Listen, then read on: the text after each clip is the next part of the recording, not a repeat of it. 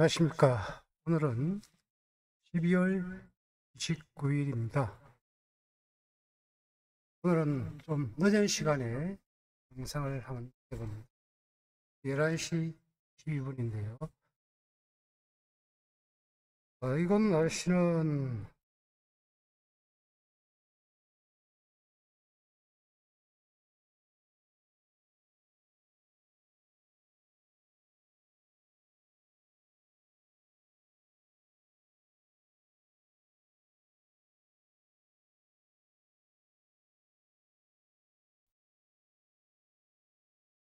영하 3도네요.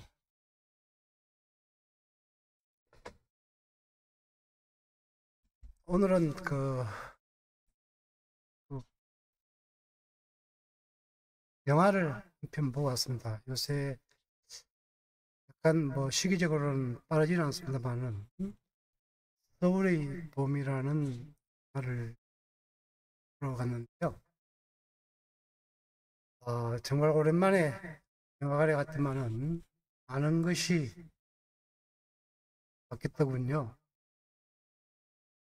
주차 인증도 터치패드로 이제 해야 되고, 물론 예매는 어플을 통해서 예를 했습니다만은 점점 이런 그 환경에 적응하지 못하면은 살기가 굉장히 어려운 그런 시대가 되어가는 것 같습니다. 음, 사실 이제 서울의 봄이 역사에 음,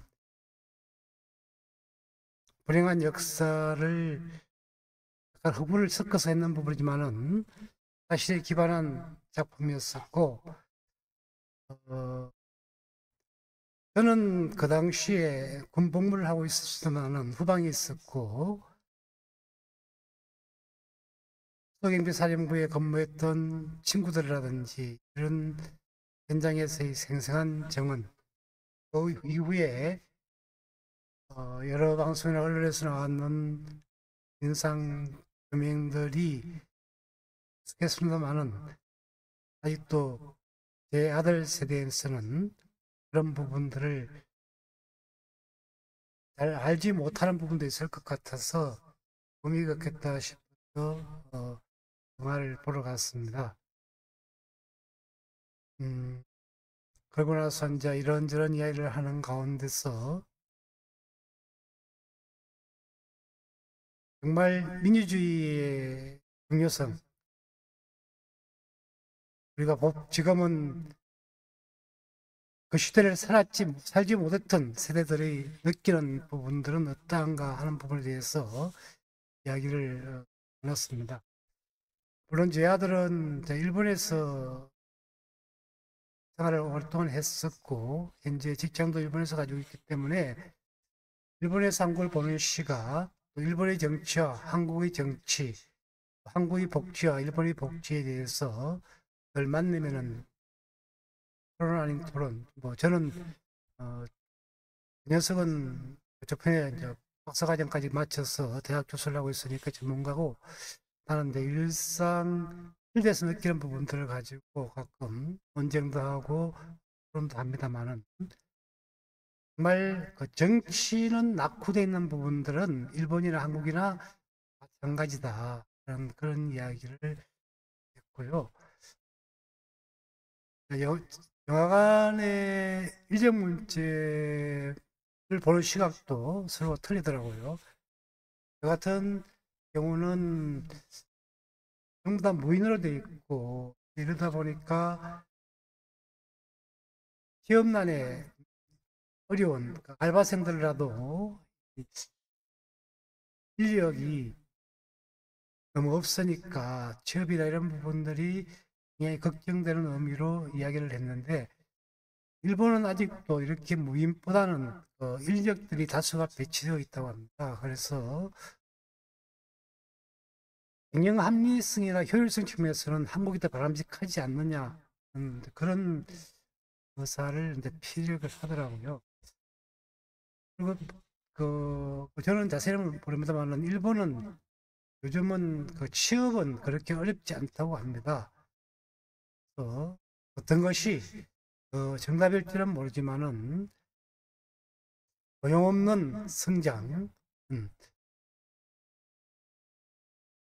대다수의 다수의 그 국민들에게는 굉장히 경제적으로 불편한 부분이 만들어지지 않나 하는 그런 생각을 해봅니다.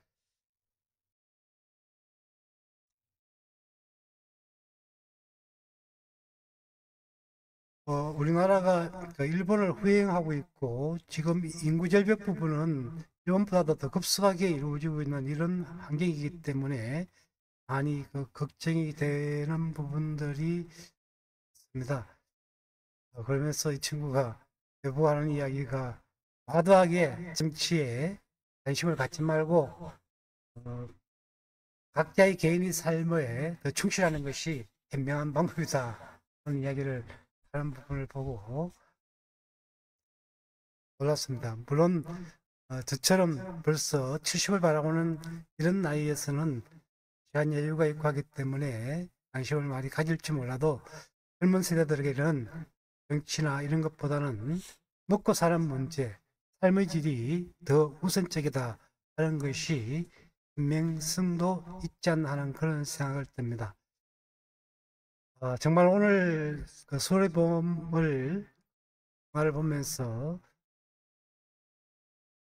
80년대 군생활 했을 때에 그 안했던 그 추억들과 그때 희생됐던 분들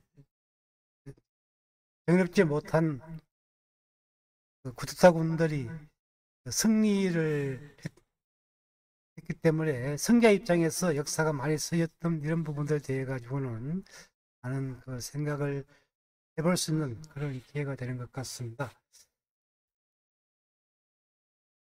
그 권력의 권력자들이 그 욕심이라는 끝이 없고 물론 어, 어, 그런 정권을 찬, 찬탈하고 그런 시도를 했던 사람들 입장에서는 생명을 건 도박이었다고 볼 수도 있겠지만은 저는 그 당시에 그 다수의 그 저항 세력에 함께하지 못하고 직장 생활을 했다는 이런 역사적 부채감을 조금은 가지고 있, 있었습니다만은 정말 그때 희생했던 분들에 대해 가지고는 늘 미안한 마음이랄까 이런 마음을 품고 어, 살아가고 있다는 자기 고백을 하는 시간이 된 것 같습니다.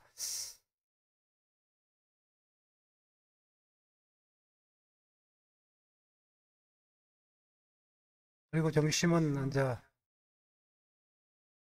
인천축협에서 하는 고깃집에 가서 한우를 같이 먹으면서 이런저런 이야기를 음,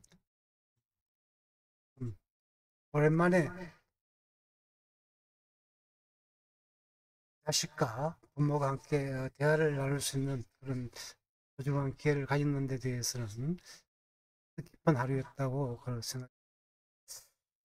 또 오늘 또 농부의 이런저런 개인적인 생활들의 이야기를 함께 봤습니다. 감사합니다.